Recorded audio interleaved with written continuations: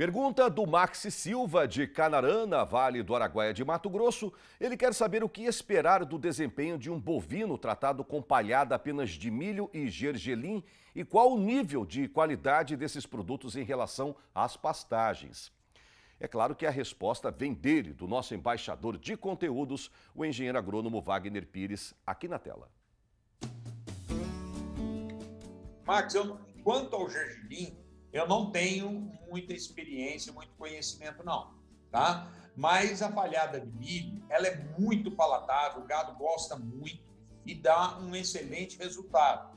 Porém, ela não é muito rica em proteína, ela tem muita fibra, tá? Vai ter bastante matéria seca, mas em proteína ela deixa a desejar.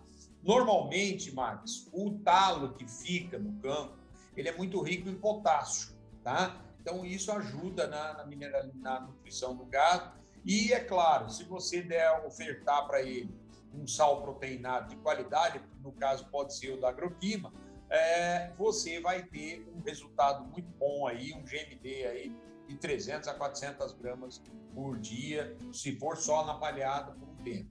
E normalmente, na palhada, a gente encontra, encontra muita tiguera de milho que fica na, na colheita, muita espiga, então isso acaba enriquecendo a alimentação do bovino, tá bom? Mas manda bala, não vacila quanto a, a, a suplementação mineral, tá? E se tiver uma pastagem, ajuda bastante.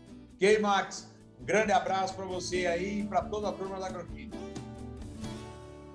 Grande Max, é só ouvir a voz da experiência que você vai se dar bem, tá bom? Um grande abraço meus amigos ali da região de Canarana, Ribeirão Cascalheira, Água Boa, aquela terra querida no Vale do Araguaia, Mato Grossense.